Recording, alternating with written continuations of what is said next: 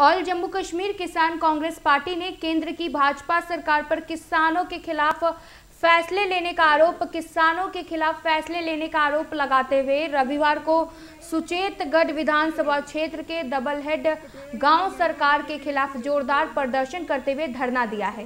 प्रदर्शन की अध्यक्षता ऑल जम्मू कश्मीर किसान कांग्रेस के राज्य चेयरमैन तथा पूर्व मंत्री चौधरी गारू राम ने किया है।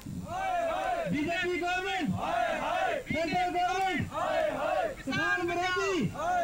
किसान विरोधी। BJP government. Central government.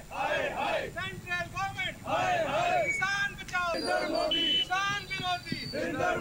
BJP BJP central government किसान कांग्रेस सरदार दिलोक सिंह बाजवा जी चौधरी द्वारका जी किसान कांग्रेस इंडियन ਸਾਰੇ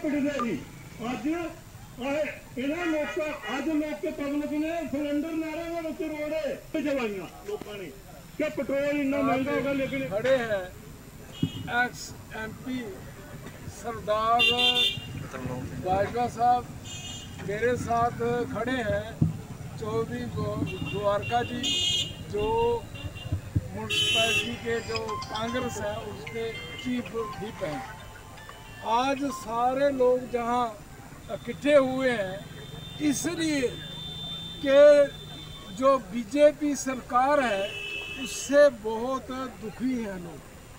क्योंकि पहले उन्होंने जो तीन कानून जो थे, जो पास किए, वो सारे किसान विरोधी हैं। और उसके बाद इन्होंने महँगाई तेल कितना महँगा हो गया। आज आम आदमी जो है वो परेशान है अपना घर चलाने के लिए। इसलिए आज हमने आरएसपुरा स्टेटगढ़ का जो है एक धरना प्रदर्शन जो है वो किया है।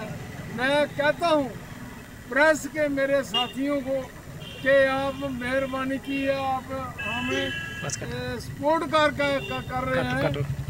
इसलिए मैं कहता हूँ, जो जम्मू की जो बीजेपी की लोग लोग हैं, इन्होंने जम्मू कश्मीर को जो है, मेरे साथ